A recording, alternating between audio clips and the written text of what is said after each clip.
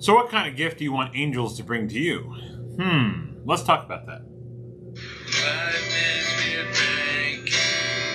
Five with Shoes, not a sponsor. Five minutes with him to talk about the Lord. Yeah. Good morning, beautiful people, on this lovely Tuesday morning with my cat running around like a devil. Anyway, so what kind of angel do you want to bring a message to you or a gift to you? What kind of angel? There's many angels in the Bible. Your question was what kind of gift do you want the angel to bring you? Well, what kind of gift do you want the angel to bring you? Jesus. I was going to actually say a song. Oh, yes, this is a song that I'm talking about. I, I thought it Very might be. good, Katie. So, uh, songs, like everywhere you go, songs are playing. Like music's playing in the background, music's playing here, there, everywhere, especially at Christmas. You know why? Well, because it calms you down. Yeah, psychologically. Yeah, because how awkward is it when you walk somewhere and there's no music? You Right. you know right away when there's no music. When you hit that wall, there's no music, and it's, It's like, just really whoa. weird. Or restaurants with no music, and all you hear is chatter. yeah, it's weird. That's, mm, that's not good. Uh, especially the the biggest culprit of that is Boscov's. You ever been to Boscov's? That's a southern thing. Boscov's has music playing, like almost blaring, and then they have this glass ceiling, No, it's not. It's a mirror mi- mirror ceiling, and it's just really weird. But anyway, you buy more. It has been proven you buy more with calming music. Huh. And why do you think there's music in elevators? Students will do more work if there's calming music playing. Yes, Ooh. it's been proven fact that music will soothe the soul, or music can turn you into a beast. I mean, just uh, listen to some of the music I used to listen to as a teenager. All the heavy metal, rock and roll, screaming, headbanging. you. I was angry about everything. But anyway, so this is a song that Isaiah has. Uh, my mom uh, sent me these lovely devotionals, I guess, with calendar. So thanks, mom. Shout out to my mom. And one of the scriptures is Isaiah chapter six, verse three. And just think of this: there's there's all kinds of angels in the Bible. There's uh, angels that guard you. There's angels that came and gave messages to humans.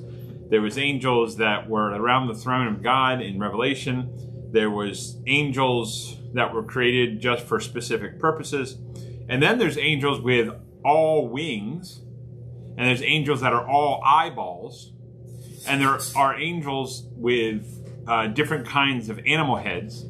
There's all kinds of angels. So some of these angels are not like the ones we have, you know, in your house that are all beautiful and lovely and stuff these angels were uh, quite the scene to see. And these, the angels, the seraphim and the cherubim, which are the ones with all the wings and all the eyeballs, were around the throne. And Isaiah saw this, and they, they were singing this. Ready? And they were calling to one another, Holy, holy, holy is the Lord God Almighty. The whole earth is full of his glory. Now, what does holy mean? Holy is a fancy word that says different, set aside, set aside for a purpose uh, you know, blameless.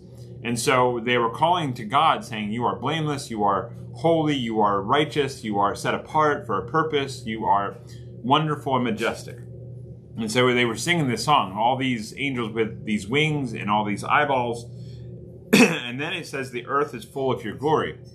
I mean, just think of the wonderful, beautiful, majestic earth and everything that God has given us. And so the angels were were giving a gift of praise to God and also telling us that there's a gift of the earth. I mean, the earth is gorgeous.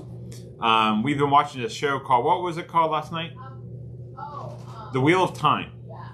And I mean, it's based in Eastern religion, and we don't believe that, but it's a good fantasy story. But uh, The Wheel of Time uh, was filmed in the Czech Republic, and breathtaking, breathtaking views of mountains, of trees, of forest, and and I'm like, I'm just praising God for the beauty that He's given us. And just think, these angels uh, are constantly singing, "Holy, holy, holy." Uh, Lord God Almighty, the earth is filled with His glory, and it's just, I don't know, it's a wonderful scripture to just say, in the presence of God, in the presence of the Almighty, um, that's the greatest gift I think that we can get uh, this Christmas. Um, I know we're talking about Christmas. Thanksgiving's not even here yet. Blah blah blah. We got a couple days. I know that's true. That's true. But I just wanted to let you know that um, you know God is holy and the earth is wonderful and beautiful. Just enjoy it. So your challenge for today is how can you enjoy the gift of the earth today? I love you. Jesus loves you too. You have a great Tuesday, and bye bye for now.